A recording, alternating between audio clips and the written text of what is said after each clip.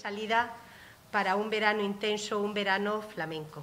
El trabajo que ha hecho la comisión en los últimos meses eh, quería poner en valor a, los personajes, a los artistas, a los guitarristas, a los bailadores, sobre todo de Linares, porque vamos a confesaros que nuestra preocupación principal era eh, darles oportunidades no solo al talento de la ciudad de Linares, que es rica en, en exponentes y en valores vinculados al flamenco, sino también que pudiéramos darle la oportunidad de que pudieran interpretar sus actuaciones todos y cada uno de nuestros artistas. Estuvimos planificando un diseño, dadas las circunstancias, estamos de hecho todos con mascarillas y el teatro nos imposibilitaba hacer actuaciones de, índole con mucho público, pues estuvimos estrujándonos la cabeza y pensando cómo podíamos hacer las cosas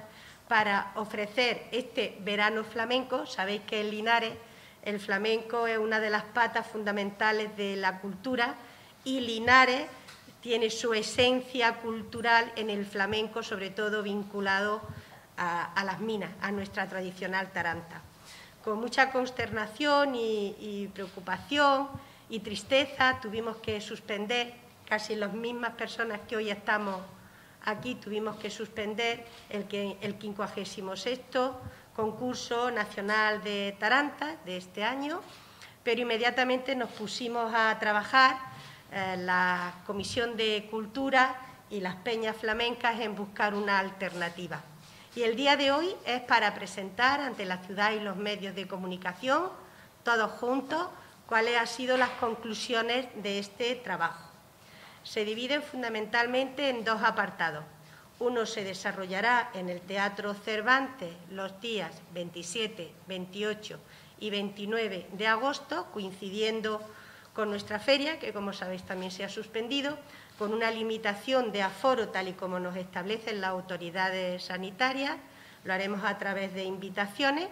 Se emitirá en streaming para dar la posibilidad a todas las personas que tengan interés en seguir esta, gala. Esta gala le hemos denominado Festival Linares Flamenco, Linares con sus artistas se desarrollará, como les decía antes, en el Teatro Cervantes el 27, 28 y 29 de agosto a partir de las 10 de la noche.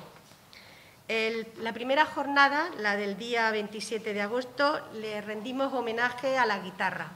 Sabemos que la guitarra es la esencia misma, el alma del flamenco y nuestros guitarristas un valor al arza y de los que nos sentimos orgullosísimos.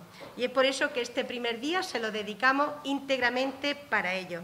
Y a partir de las 10 de la noche, como les decía anteriormente, eh, interpretarán sus mejores composiciones nuestros guitarristas Juan Ballesteros, Fernando Contreras El Cali y Juan José Gutiérrez El Calao. El día 28 se lo dedicamos al cante y la noche de cante estará protagonizada por José López Castro, el sevillano, Alba María Martos Garrido y Belén Vega Rus. Hay que decir que la selección de estos tres cantaores se ha basado sobre todo en la fase anterior de las tarantas que quedaron finalistas, que no obtuvieron premio, que son de Linares y que queríamos de esta forma pues rendirle un tributo, un, homenaje, haciendo posible que este año actuaran en este Linares con su artista Festival Flamenco. Y el día 29 de agosto se la dedicamos al baile, a la danza, a través del Ballet Español de Linares. Como les decía, mm, son siete actuaciones en las que se pone en valor la misma esencia del flamenco, todo con artistas locales, que es el hilo conductor que va a conducir toda esta actividad de Linares Flamenco. Y luego, eh, durante lo que queda de julio y todo el mes de agosto y parte de septiembre, pero que eso lo presentaremos más adelante, que lo protagonizará la Peña Flamenca Carmen Linares. Pero luego, durante, desde el 25 de julio hasta, hasta últimos de agosto, hasta concretamente el 23 de agosto, tenemos una amplia programación eh, vinculada, o sea, ubicadas en toda y cada una de las peñas de nuestra ciudad, cuatro peñas porque Carmen Linares no reunía las condiciones mm, de dimensión idóneas para poder celebrar este tipo de, actuaciones. Sus artistas participarán con otras, en otras actuaciones de otras peñas y, son aproximadamente 32 actuaciones. Bueno, pues en primer lugar, el día 25 de julio eh, se desarrollará una actividad en la peña Plomo y Plata. En ella participarán siete cantadores y un guitarrista. Y, lo único que damos las direcciones donde están todas las peñas y todo para ofrecer la posibilidad, con todas y cada una de las medidas de seguridad recomendadas. De hecho, serán las propias peñas las que em, intentarán poner sentido común y eficacia a todas estas medidas. Disfrutar del cante de la guitarra y del baile en las peñas, pero con todas las medidas de seguridad. También se podrán grabar y se podrán retransmitir por redes sociales para que no cercenar la posibilidad de que los linareses puedan disfrutar de este raudal eh, inmenso que son nuestros artistas y sus voces prodigiosas y su talento inmenso.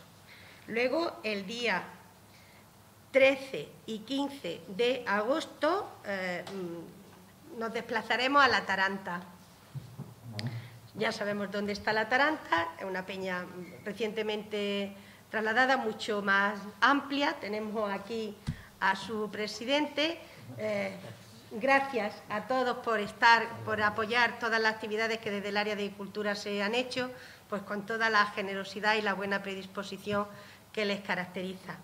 Y he dicho 13 y 15 porque el día 14 nos llevamos el flamenco y el arte y el talento a Luquitas de Marchena.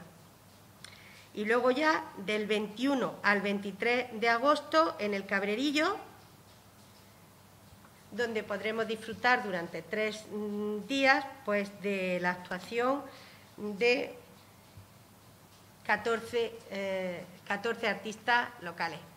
Es un lujo impresionante. O sea, Linares... Eh, va a desbordar cante, cante del bueno, con sentimiento y lo más importante es que vamos a poder escuchar en unas circunstancias especiales a artistas excepcionales que son de nuestra localidad, que era lo que desde el área pretendíamos. Daremos difusión a los carteles a través de las redes sociales y entendemos que los medios de comunicación, la Comisión de Cultura que está aquí también y las peñas nos ayudarán en toda esta difusión para dar traslado y que sean actividades con mucho éxito siempre y cuando nos lo podamos permitir. Lo hacemos con las limitaciones propias de la situación sanitaria que estamos padeciendo, pero por una apuesta decidida y determinante por uno de los, de los palos más importantes que configuran la cultura de esta ciudad como es el flamenco. Viva el flamenco, que flamencos somos, vamos para adelante flamenco.